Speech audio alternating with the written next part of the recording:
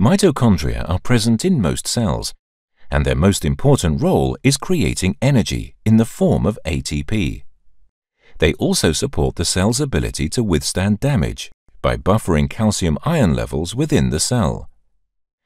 Research has shown that there is a broad range of pathological conditions connected with mitochondrial health, conditions that cause tissue damage, leading to excessive reactive oxygen species generation and calcium ion levels, which in turn can compromise mitochondrial function and may cause permanent damage.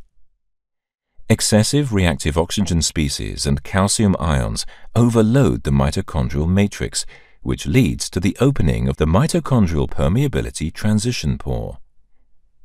This process, where the membrane becomes permeable to small molecules, is called membrane permeability transition, MPT, and is mediated by the enzyme cyclophilin D, a mitochondrial matrix protein. MPT dissipates the proton-electron gradient that polarizes the mitochondrion, stopping production of ATP energy.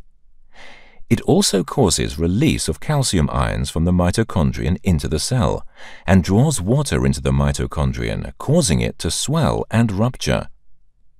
Stored calcium, unprocessed ROS, and toxic intermembrane proteins are released.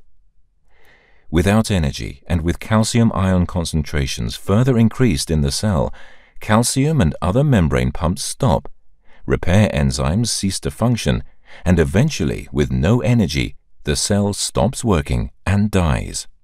The mitochondrial permeability transition pore and the enzymes associated with it, such as cyclophilin D, provide a target for permeability transition protein desensitizing therapies that can potentially limit the injury caused by disruption in mitochondrial function.